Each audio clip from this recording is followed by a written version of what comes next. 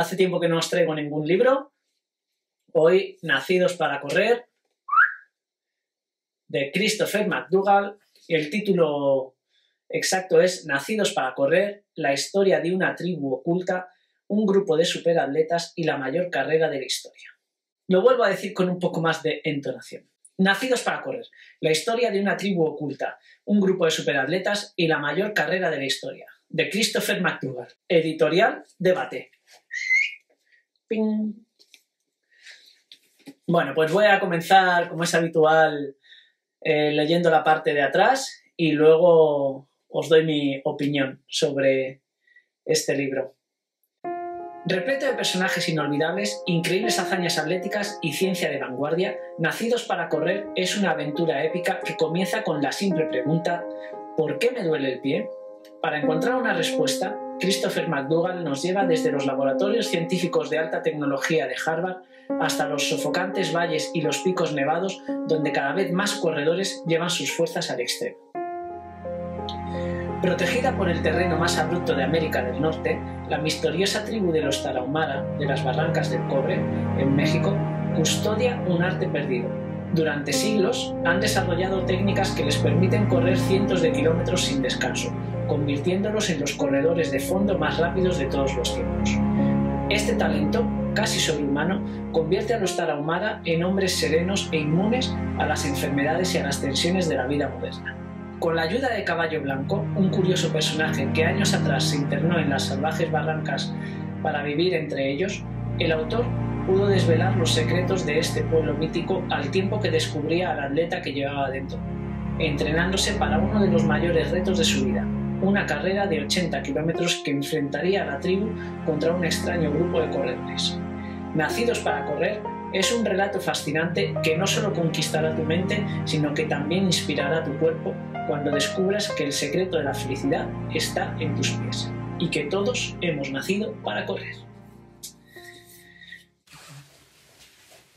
Voy a intentar ser breve porque acabo de hacer una toma de 10 minutos en la que os he empezado a hablar, que bueno, que no la he puesto en el vídeo y, y al final me he liado.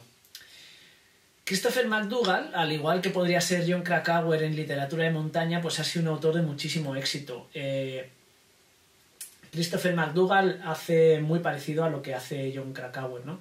que al final es mezclar su historia personal, de superación personal, muy al estilo de este tipo de autores americanos, con la historia que nos quieren contar. ¿no? De manera que este libro eh, se convierte en una especie de grial hace unos años, Estamos hablando del año 2012-2013. Voy a ver la publicación del libro.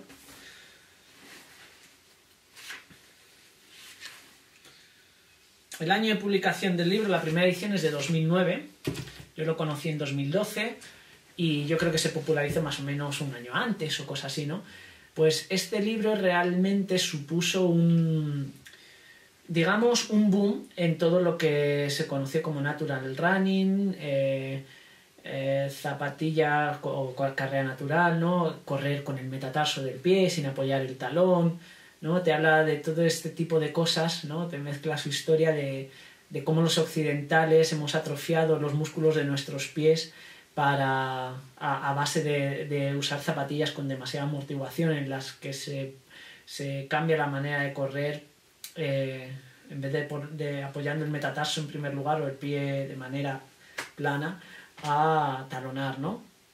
A partir de ahí, el, Christopher McDougall te cuenta que ha encontrado el santo grial para no tener lesiones corriendo, gracias a la tribu de los Tarahumara, ¿no? que es una tribu que está aislada por diversos motivos, ¿no? desde la llegada del hombre blanco hasta en los, días, en los tiempos modernos por, bueno, les están echando de su terreno los narcotraficantes, ¿no? Y que debido a los aislados que han quedado y que no tienen medios de transporte, pues se desplazan de, entre pueblos, mismamente para ver a un familiar, a pie, ¿no?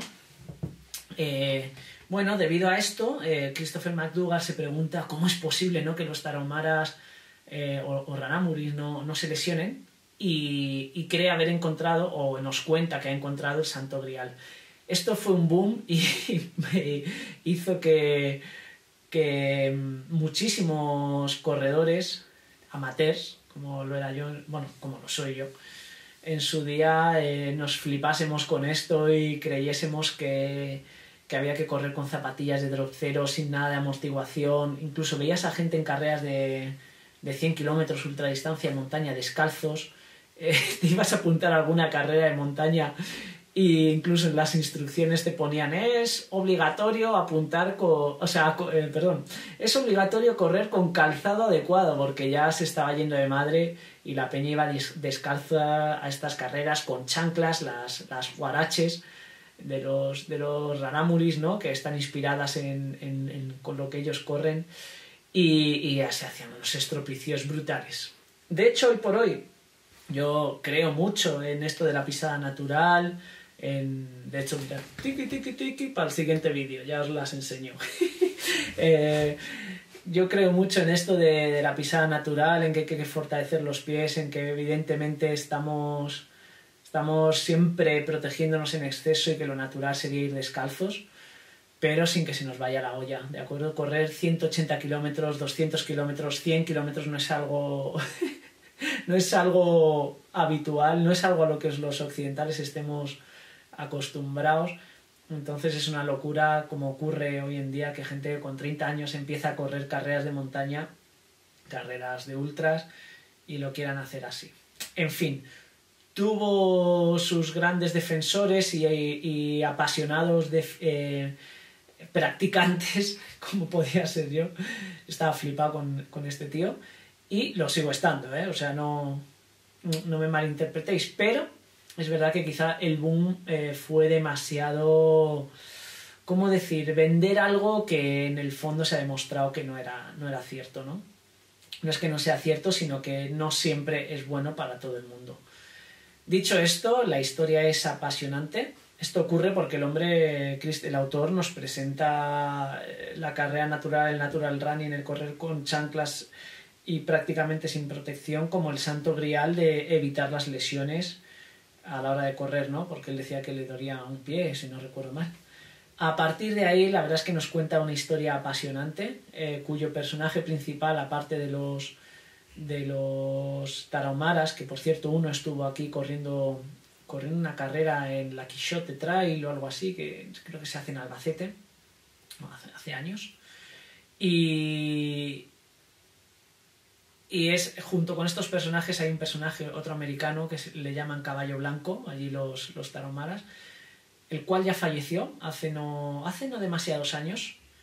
Y nada, es una historia, la verdad, que muy, muy eh, cinematográfica. De hecho, me sorprende que todavía no hayan hecho una película sobre este libro, porque la verdad es que es una historia muy bonita. Ya se hizo sobre Rutas Salvajes de Christopher, uy, perdón, de John Krakauer Así que yo no descarto que en breve hagan una película sobre, sobre esto porque la verdad es que eh, da para hablar. Y es una historia bonita, ¿eh? Yo os recomiendo 100% el libro porque es una historia apasionante.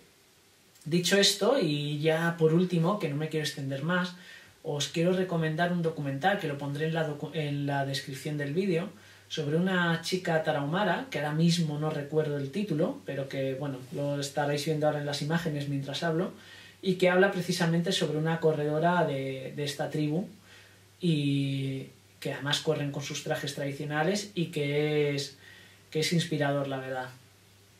Y poco más que deciros. Eh, Nacidos para correr, para mí quizá creo que es el libro más popular de, corredores, junto con el, con el que escribió el autor este japonés de, eh, de qué hablo cuando hablo de correr. Eh, os lo recomiendo 100%, sobre todo porque es entretenido. Pienso que lo puede leer todo el mundo, no hace falta que seas corredor. Es una historia, como digo, bastante dinámica y apasionante y sobre todo con, con elementos clave como son sus personajes, ¿no? Así que dicho esto, espero que lo disfrutéis si decidís leerlo. Nos vemos en el siguiente. Chao.